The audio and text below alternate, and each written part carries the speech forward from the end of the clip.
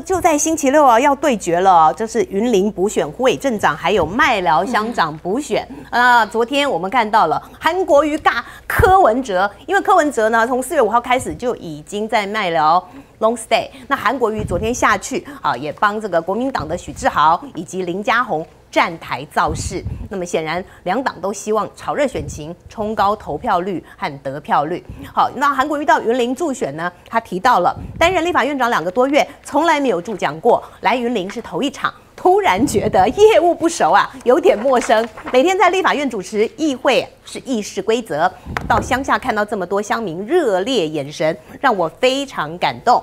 好，那这个五名立委愿意成为许志豪与林佳宏的后盾。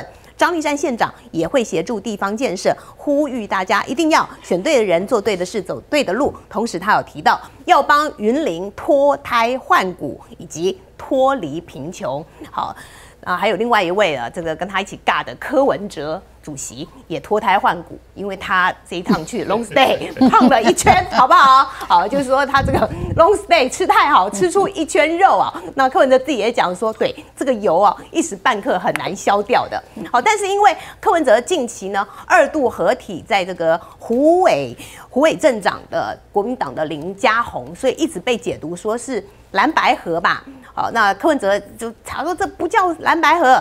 这个叫反正我们政治就是支持好的人选。如果我们有提名的候选人，我们就支持我们提名的啊。如果没有，我们就在当中选一个最好的。好，就要投票了，在这个星期六，我请教这个委员，在地方上这场云林补选，好，目前怎么看？因为比如说有人觉得在麦寮乡长的部分，民众党有机会哦。好，可是很多人也觉得说，最后还是回归就是蓝绿在争了。呃，我想张立善县长哦，他曾经讲过一句话让我很感动。嗯，他说呢，我们云林要怎么样脱胎换骨？他希望要让云林人有基坦呐，或生活啦，有套路啦。嗯，这个让我很感动。嗯，因为他经常提了很多的案子，他提了很多的案子到行政院，结果都没有得到什么答案。所以我们在协调的过程当中呢，让我们感动到说，云林人是需要协助的，嗯，而且他的确有这个机会哦。所以包括了呃这一次呢，立委选举完，那么不管是部分区的，他们加注了这些量能，那让这个呃云林县呢，可以说看到了很多的生机。那这一次的选举呢，我们可以了解说，在基层里头还是要按部就班，尤其在麦寮。他的争议的问题也很多，那怎么样能够让民众可以好好的来生活？我想这是民众非常需要的，因为云林过鬼啊，啊，中华过鬼就就我们台中，嗯，所以大家在整个海线的这个连线呢，大家工作或者是这个很多的事项都连接在一起，所以我们可以感同身受，就是说麦寮、胡伟。大家都是希望选一个真正能够为他们的乡亲来做事情的。那么，当然现在我们国民党喊出的，也就是大家一定是全力以赴哦，而且我们信心十足。剩下这几天，我们也希望能够得到一个美好的成果。就正如这个科比所说的，如果他们没有提人的时候，在这当中选一个好的人选，好好的来为。民众来做事情，我相信这是民众最迫切需要，尤其在云林这两个乡镇。所以呢，我们希望大家眼睛擦亮，好好的真的去选一个能够为这个当地的人民呢做事情，而且可以加成效果的。这个加成效果，也就是在云林县长呢张立善，他这一段时间我们看到他的蜕变，他不断的将他地区所有的乡镇一乡一乡一乡的在盘点。而且在推出他们的特色，所以我相信这两个这个这个呃两个区域的选举啊，如果能够啊让国民党我们呃希望能够得到这美好的成果，大家一起加油哦！就诚如呃这个韩国瑜他自己韩院长他下去的时候，他自己感同身受，他看到人民的眼神的这个需求。这个需求是什么？希望能够好生活，这是人民最简单而且最基本的一个要求，所以代表着民进党的执政到目前为止，民众是没有办法接受的。好，那委员呢？因为这个云林的地方补选哦，三党争成这个样子，而且这个搞得特别风风火火，所以委员，你认为说这次的选举结果是不是有一定的指标意义？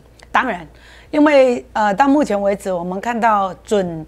准总统哦，准总统，他现在可以说是国会从来也没有说这个这个国会弱势，那他本身的选选票呢，也也是也是少数。嗯，在这样的一个情况之下，是双少数，是双少数。这个可以代表着民众对于这个民进党执政到目前为止是得不到肯定的，所以我们真的非常的希望这两个啊，美疗跟后卫这两个如果当选，对国民党来讲是一个很大的指标哦。嗯，所以我们大家都是全力以赴。对，好，因为呢这一次的战况超诡异哦，看联合报写的这篇特稿，就是蓝白强绿弱势，哦，主要是绿营打哀兵牌，能不能够突围，所以增添了选战的吊诡氛围。那么得胡伟得天下，云林政坛一直 把蓝绿比数呃均等的胡伟视为决胜负的摇摆州，如何能够？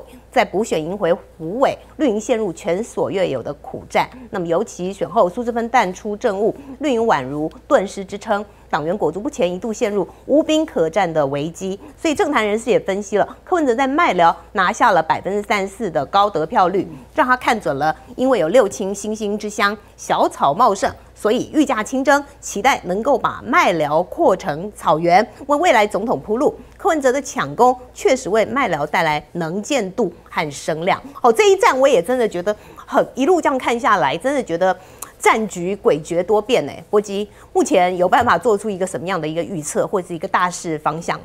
呃，其实像这种云林，尤其是乡镇市层级的这种选举哦，不应该用蓝绿来解读啦。所以你会发现哦，像。这个以这个麦寮来讲哦，国民党提名的原本是民进党议员，也就很多人都有绿色基因啦。其实 不应该这样讲，他们这种叫地方派系，是或者说地方势力。那谁执政，嗯，中我的地方县长谁执政，我就会往那个方向靠。包括哦，讲这个胡胡伟哦，胡伟这个镇长哦，嗯，不管是这个国民党这次支持的这个林家宏，或者另外有一位这个无党籍的议员哦。其实他们都是跟张家原本比较友好啦，哦，就是说其实那个有点系出同源哦，那就变成是分裂、分散。可是呢，相对于你知道另外参选的一位哦，听说也没有得到苏志芬的力挺，嗯，是绿营的哦，绿营的那个也没得到苏志芬的力挺哦，所以其实是很复杂，在地方这种状况是很常见。那有时候他们不是用蓝或绿的旗帜来决定胜负，而是用所谓的地方派系或是这种所谓的经营。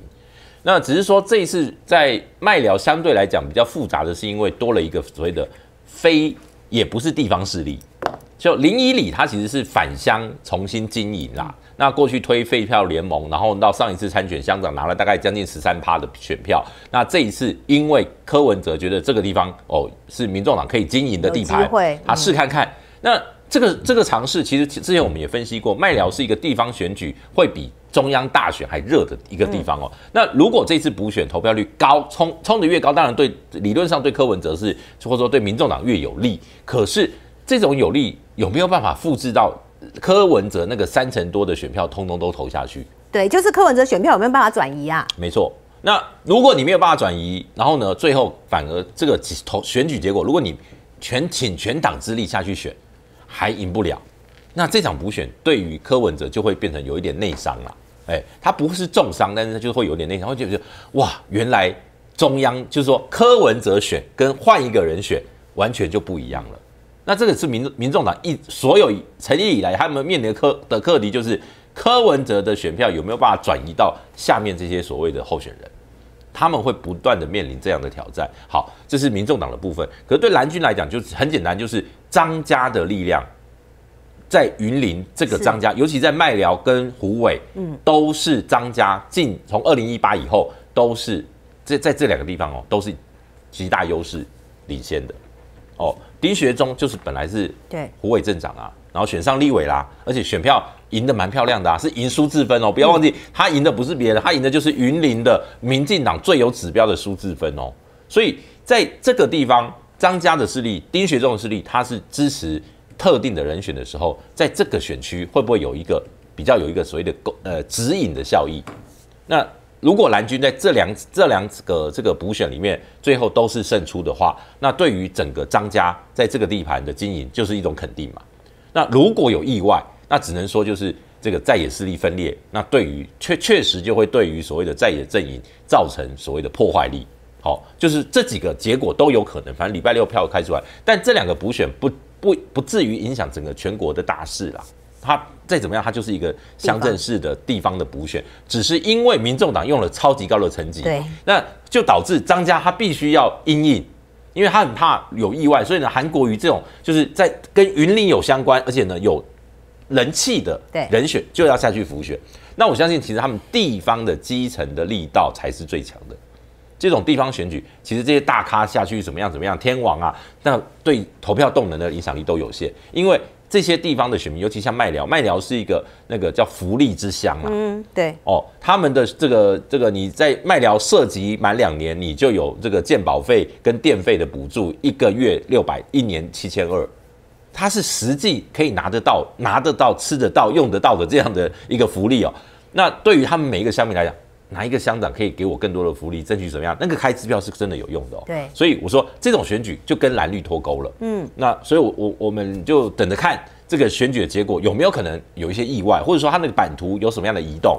因为上一次，呃，像麦寮来讲，我们上一次他这个这个就是被取消资格的的这个这一位这个乡长哦，他也才拿不过不到两成五的选票。嗯。所以在这个地方也没有谁是特别强或怎么样的时候，我们就要观察它这一次影响的，就是说它整个蓝绿或者说它整个地方的版图去是怎么样的移动方式，再来做下一次。当然这两个乡镇哦，因为同时补选，就有可能决定了下一次二零二六云林县长，因为张家张立善是要交棒的，那会不会张家有没有足够的影响力可以继续？那我想这个对张家在云林的势力是一个考验啊。嗯。